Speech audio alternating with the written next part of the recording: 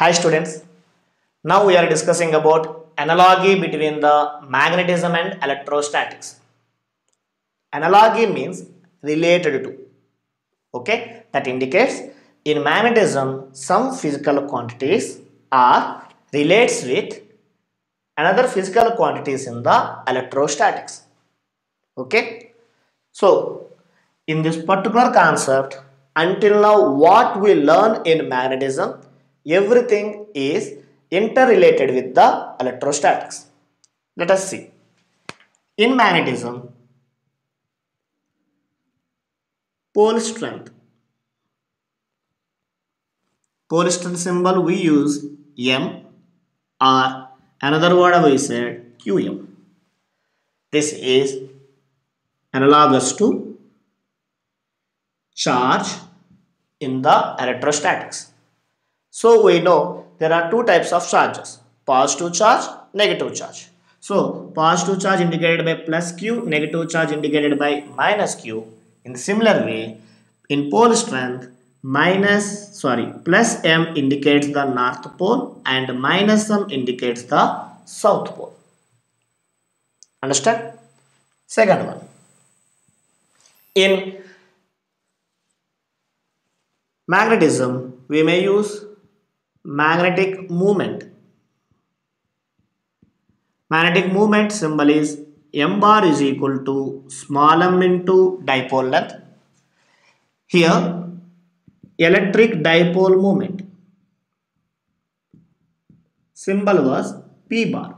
P bar is equal to m is related with the q na? So q into here this is dipole length. Here also 2L indicates the dipole length. And we know the direction of magnetic moment is from south to north pole of the magnet. Here also south, south indicates negative charge to the positive charge. Its direction is from negative charge to the positive charge of electric dipole. Next, in magnetism we are using mu naught symbol mu naught is called as permeability of free space.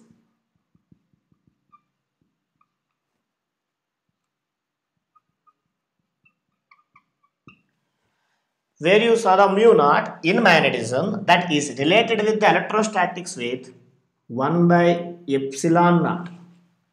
What is epsilon naught? Here epsilon naught is permittivity of free space.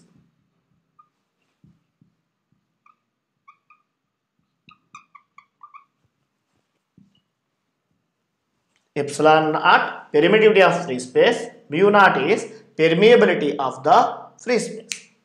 Clear? Now relative permeability. Symbol is mu r that is equal to mu by mu naught. Here relative permittivity.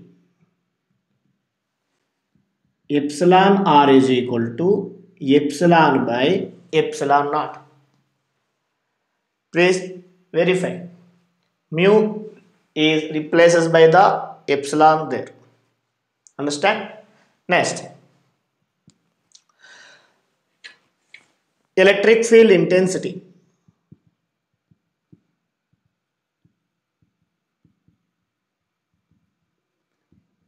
E bar. Where you saw the sorry.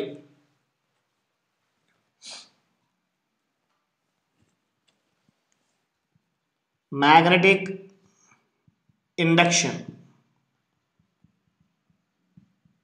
B bar is analogous to the electric field intensity. E bar. So here B bar comes, there E bar coming. Understand? Next.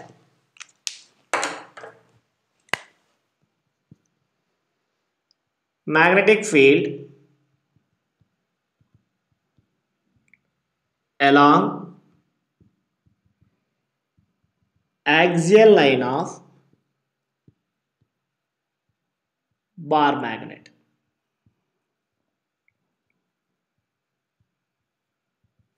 Have the formula now B axial is equal to mu naught by 4 pi 2m by d cube for shorter dipole okay similarly the electric field intensity along axial line of electric dipole axial line of electric dipole. So e axial is equal to instead of mu naught we said 1 by epsilon naught now that's why. 1 by here 4 pi coming that's why 4 pi you may write like this. Only 4 pi. Mu naught is replaced by 1 by epsilon naught.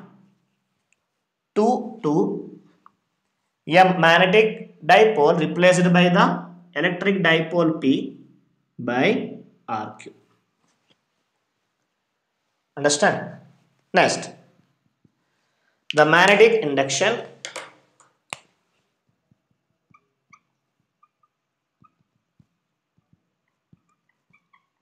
Along equatorial line of bar magnet. So B equatorial line formula mu naught by 4 pi into m by d cube. For shorter magnet the formula is mu naught by 4 pi m by d cube.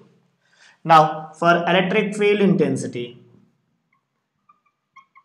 along equatorial line of electric dipole.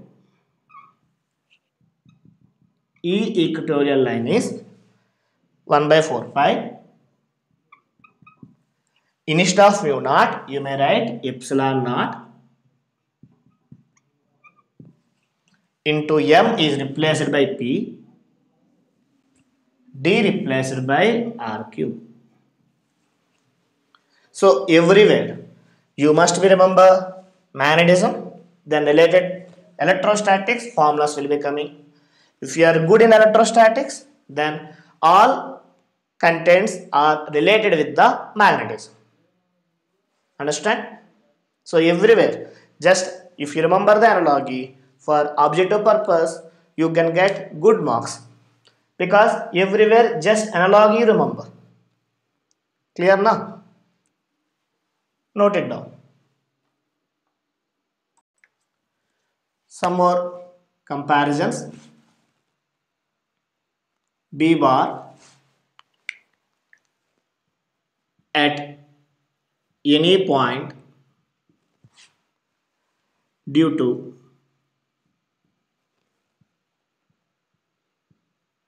magnetic dipole. B formula mu naught by 4 pi into m by d cube into under root 3 cos square theta plus 1. Similarly, B bar here you got electric field intensity at any point due to electric dipole. So E value mu naught by 4 pi replaced by 1 by 4 pi epsilon naught m analogous to p d cube analogous to r cube under root 3 cos square theta plus 1 clear? Next. Torque. Torque acting on dipole placed in uniform magnetic field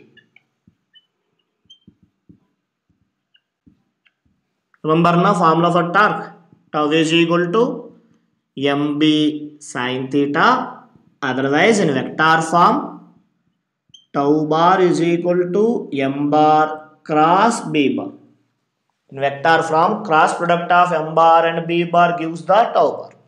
Similarly the formula for the torque in electrostatics. M is analogous to p b analogous to e. Okay sine theta. That implies in vector form m bar replaced by p bar and b bar e bar okay? This is about the torque next work done in rotating a magnet from theta 1 to theta 2 in magnetic field formula W is equal to mb cos theta 1 minus cos theta 2 here W is equal to M is analogous to P, B analogous to E into cos theta 1 minus cos theta 2. Note it down. Now, potential energy of magnet. U is equal to minus mb cos theta otherwise minus m bar dot b bar. Similarly the potential energy of electric dipole u is equal to m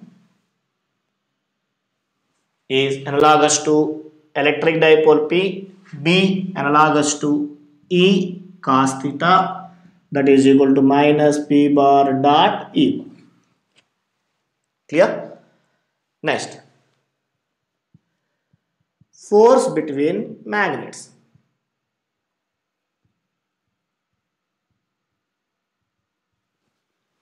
On that in case 1 we learn about when dipoles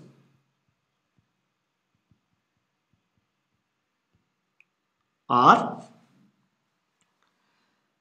along axial line. When dipoles are along line joining of their centers. Along line joining of their centers. We got the formula b is equal to mu naught by 4 pi into 6 m1 m2 by r power 4 negative also coming. Negative indicates the attractive force now. Remember? Similarly here f is equal to mu naught by 4 pi replaced by 1 by 4 pi epsilon naught. 6 P1 P2 by R power 4 and in case 2 we discuss when dipoles are perpendicular to line joining of their centers. Dipoles are perpendicular to line joining of their centers.